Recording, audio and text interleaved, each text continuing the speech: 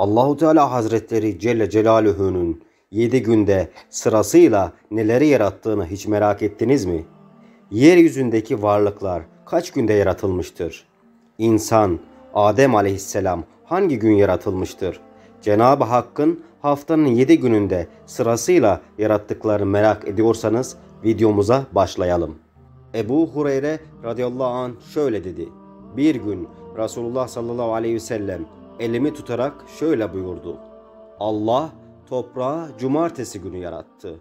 Oradaki dağları pazar günü, ağaçları pazartesi günü, sevilmeyen şeyleri salı günü, nuru çarşamba günü yarattı. Hayvanları yeryüzüne perşembe günü yayıp dağıttı.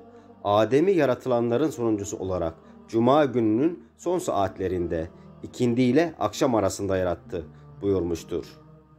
Resulullah Efendimiz'i bu hadis söylemeden önce İslamiyet'i öğrenmek için memleketini bırakıp Medine'ye gelen ve karın tokluğuna Mescid-i Nebevi'de yatıp kalkan Ebu Hureyre'ye verdiği değeri ve ona duyduğu sevgiyi göstermek üzere elinden tutmuş, sonra da ona dünyanın yaratılışı hakkında bu önemli bilgileri vermiştir. Hadis-i şerif yeryüzündeki önemli varlıkların 6 günde yaratıldığını, Hz. Adem'in de son günde ve sonuncu olarak yaratıldığını belirtmektedir. Şu ayet-i kerimede de bunu ifade etmektedir. Andolsun biz gökleri, yeri ve ikisi arasında bulunanları altı günde yarattık. Bize hiçbir yorgunluk çökmedi. Kaf suresi 38 Bazı müfessirler bu altı günü altı dönem olarak yorumlamışlardır. Buna gerekçe olarak da henüz dünyanın yaratılmadığı dolayısıyla gün anlayışının belirgin hale gelmediği bir zamanda gün sözüyle daha geniş veya daha az bir vaktin kastedilmiş olabileceğini söylemişlerdir.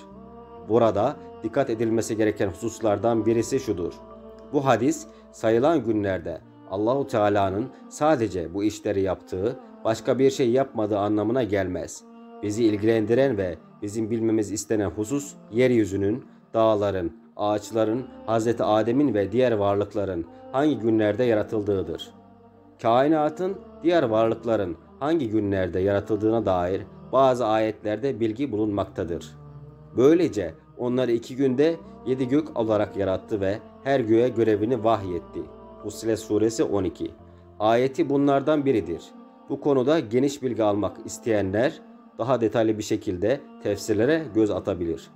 Kaf suresinin yukarıda zikredilen 38. ayeti ile bu hadis Yahudilerin Allah yoruldu, cumartesi günü istirahata çekildi şeklindeki iddialarının asılsız olduğu gösterilmektedir. Hz. Adem'in ve dolayısıyla neslinin yeryüzünde mutlu ve huzurlu bir hayat sürmesini sağlamak üzere yer ve gökteki her şey onlardan önce yaratılmış. Böylece onlar daha dünyaya gelmeden rahat ve konforları sağlanmıştır. Çünkü insan kainatın özüdür. Muhtelif ayetlerde belirtildiği üzere yeryüzü, gökyüzü, kısaca bütün kainat onun için, ona hizmet etmek için yaratılmıştır. Salı günü yaratılan sevilmeyen şeylerin neler olduğu konusunda fazla bir malumat yoktur. Salı günü demirin yaratıldığına dair zayıf bir rivayet de vardır. Sevilmeyen şeylerin demir gibi madenler olduğunu söyleyenler herhalde bu ve benzeri rivayetlere dayanmışlardır. Şayet sevilmeyen nesneler, ölüm ve afet gibi şeyler ise buna dair de bir rivayet bulunmaktadır. Buna göre cuma günü yıldızlar, güneş, ay ve melekler aynı günün muhtelif saatlerinde ise ecel, afet ve Hz. Adem yaratılmıştır. Bu hadisi tenkit etmek ve onu tabi'in alimlerinden Kab el-Ahbar'ın sözü gibi göstermek isteyenler çıkmışsa da Müslim ile Ahmet İbni Hanbel'in yukarıda zikredilen eserlerde açıkça görüldüğü üzere bu hadis Kab'ın değil Resulullah Efendimizin sözüdür. İmam-ı Münavi ise hadislerde geçen toprak diye tercüme edilen türbe kelimesiyle arzın yeryüzünün kastedildiğini söyler. Dikkat edersek eşyanın yaratılışında mantıki bir tedriç vardır. Sırayla toprak, dağlar, bitkiler, hayvanlar ve en son olarak da insan yaratılmıştır. Burada asıl hedefin yani kainatı yaratmaktan maksadın insan olduğu görülmektedir. Bu hadislerde geçen günler bizim bildiğimiz haftanın günleri manasında değerlendirmek mümkün değildir. Çünkü bazı yönlerden kapalılık ve problem mevcut olabilir. Bu problemi ayetin hakemliğinde çözmek şu şekildedir. İlgili ayetlerde şunlardır. De ki siz gerçekten yeryüzünü iki günde yaratan Allah'ın bir tek ilah olduğunu inkar edip de ona ortaklar mı koşuyorsunuz? Halbuki bütün bu işleri yapan Rabbül Alemin'dir. O yerin üstünde sabit, koca dağlar yarattı. Oraya bereketli kıldı. Orada ihtiyaçlarını arayıp soranlar için gıdalarını tam dört günde takdir edip düzenledi. Sonra iradesi bir duman, bir gaz halinde bulunan göğe yöneldi. Ona ve yere isteyerek de olsa istemeyerek de olsa emrime gelin diye buyurdu. Onlar da isteyerek geldik dediler. Derken onları iki günde gökleri yedi kat olarak şekillendirdi ve her bir göğe kendisine ait işini vahyetti. Biz dünya şemasını kandillerle, yıldızlarla süsledik. Bozulup yıkılmaktan koruduk. İşte bu kudreti her şeyin üstünde olan, her şeyi bilen Allah'ın takdiridir. Fussilet suresi. Bazı alimlere göre ayette söz konusu edilen günlerden maksat bildiğimiz günler değildir.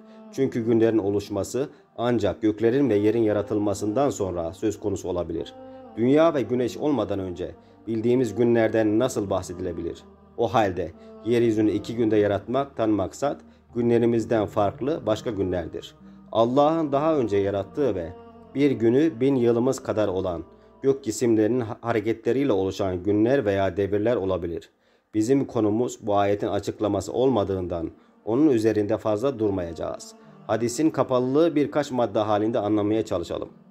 Bu hadisteki zahir ifadeler Kur'an ayetlerinin ifadeleriyle çelişmektedir. Bu durum hadisin gücünü kıran bir unsurdur. Söz konusu hadisin genel muhtevası İsrailiyat kaynaklı olabilir. Nitekim Kitab-ı Mukaddes'te yaratılış öyküsü buna benzer bir sıralamayla anlatılmış ve Allah yaptığı işi 7. günde bitirdi ve yaptığı bütün işten 7. günde istirahat etti şeklinde görüşe yer verilmiştir. Buna göre hadiste Yahudilerin Allah için istirahat günü olarak ilan ettiği cumartesi günü kaldırılmakla kalmamış, yaratılışın ilk günü olarak kabul edilmiştir. Ayrıca onlara göre yaratılış öyküsünün ilk gününün pazar günü olduğu hususu da yanlış olduğunu işaret etmiştir. Bu noktalarda da göz önüne alınırsa söz konusu İsrailli sıralamayı değiştirerek onları tekzip etme ihtimalini akla getirmektedir. Bununla beraber Hz. Peygamber aleyhissalatü vesselam yaratılış safhalarından her birini bir gün olarak ifade etmiş olabilir. Bu devirlerin alemi manadaki isimlerin haftanın isimleriyle özdeş olduğundan anlaşılmayı kolaylaştırmak için onları kullanmış olabilir.